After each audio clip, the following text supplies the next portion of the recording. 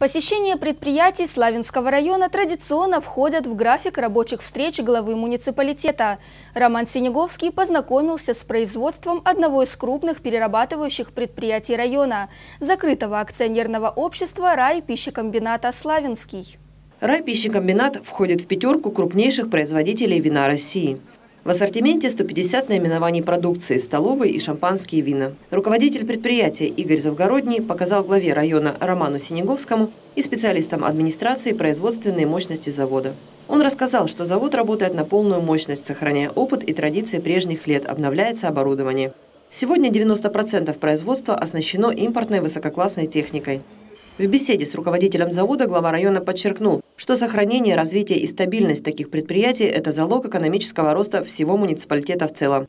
Роман Синеговский призвал руководство и дальше заниматься модернизацией и искать новые точки экономического роста фирмы.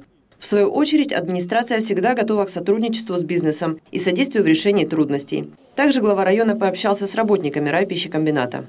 Приятно, что много рабочих в целом работает на предприятии Славянского района. Для нас это рабочие места. Многие из сотрудников завода приезжают на работу из близлежащих городу поселений, в частности, станицы Анастасиевской.